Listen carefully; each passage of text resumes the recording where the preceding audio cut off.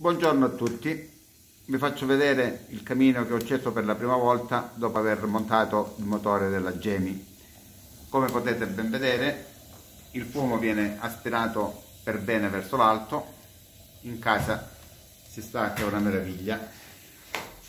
Ora vi faccio vedere l'interruttore da cui si accende eh, è la velocità minima 1 eh, arriva fino a 6 velocità.